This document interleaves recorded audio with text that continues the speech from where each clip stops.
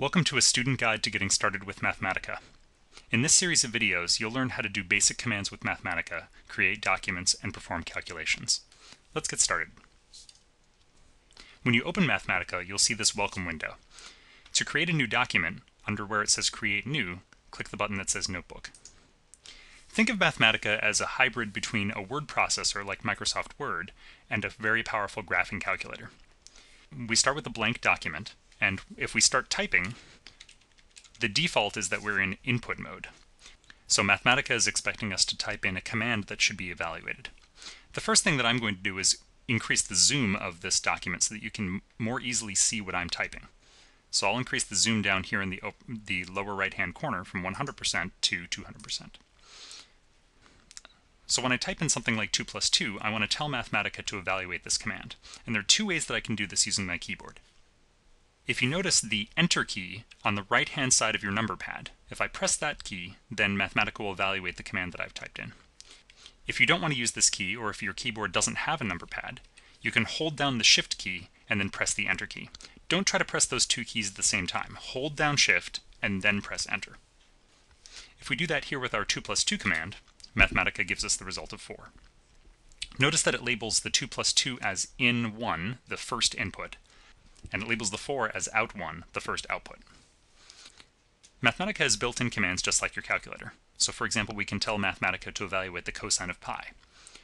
The thing we have to remember with Mathematica is that commands that are built in start with capital letters, so the command for cosine is capital COS. And the second thing we have to remember is that when we evaluate using built-in commands in Mathematica, plugging into those commands uses square brackets. So we type pi with a capital P, because built-in commands start with capital letters, and then square brackets. When we hit our enter on our number pad, Mathematica evaluates that and gives us the answer of negative 1. There are other built-in commands. For example, the square root command is capital SQRT, so we could tell Mathematica to evaluate the square root of 100, and we get the answer of 10.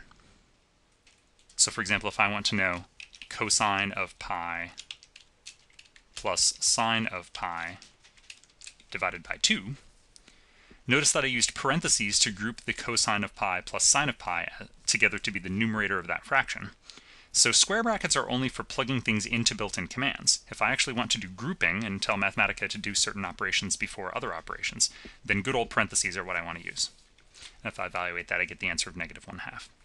Notice that Mathematica gives me the answer in the form of a fraction, uh, and in general, Mathematica will give you exact answers whenever it can. Now, this tendency for Mathematica to give us exact answers can actually give us unexpected results. So for example, if I wanted to evaluate the square root of 2, Mathematica will reply and say, yes, the square root of 2, that's what you typed in. Because Mathematica wants to give us an exact answer. And if we asked for the kind of answer our calculator would give us, 1.41 something something something, then that wouldn't really be the exact answer. That would only be a decimal approximation to the square root of 2. And sometimes that's what we want. Sometimes what we really want is a decimal approximation. And the command to do that in Mathematica is capital N. So if we want a decimal approximation to the square root of 2, then we type capital N, again remembering to use our square brackets because that's how we plug into commands in Mathematica. So n of the square root of 2, and when we evaluate that, we get the decimal approximation that we might have expected initially.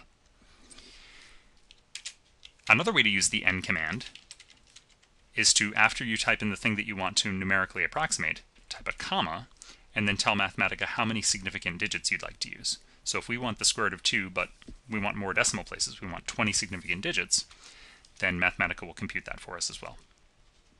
This should be enough information for you to get started doing basic commands with Mathematica. In future videos, we'll learn how to use freeform linguistic input, or Wolfram Alpha, to do more complicated commands. We'll learn how to define variables, functions, plot functions, solve equations, and find roots.